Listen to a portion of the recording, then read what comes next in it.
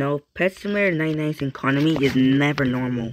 It's either going up, going down, prices are rising, prices are dropping. It's never stable. The economy, the one thing that's never bring this economy together are the eggs. For example, as we all know, the new SpongeBob egg, which the as they partner up with SpongeBob. Now normally when eggs come out, they're normally around like 50 million. See like the eggs been out for like a couple months, like 50 million. Some of them 300 million. But this egg, only the last egg that came out was the factory egg, right? Is at 43.6 million, you know, the average price. But what's the SpongeBob eggs. That's 65 million. 65. Now, for example, the blazing eggs, they've been out for a couple of months. They're only at 50 million. The, the what's called? The bejeweled eggs, it's 49 million.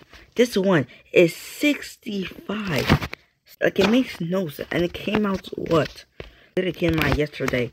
Like, make that make sense. Like, it's literally the exact same amount as the exclusive jelly egg that was literally here since Pet Simulator X.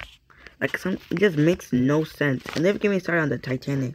Even the exclusives make no sense. For example, I have Mr. Crab, the 85% exclusive, right? They're normally around, for example, 85% 3 million, 3 million, even the 90% like 5 million, 5 million. The 85% exclusive for Mr. Krabs is 7.5 million.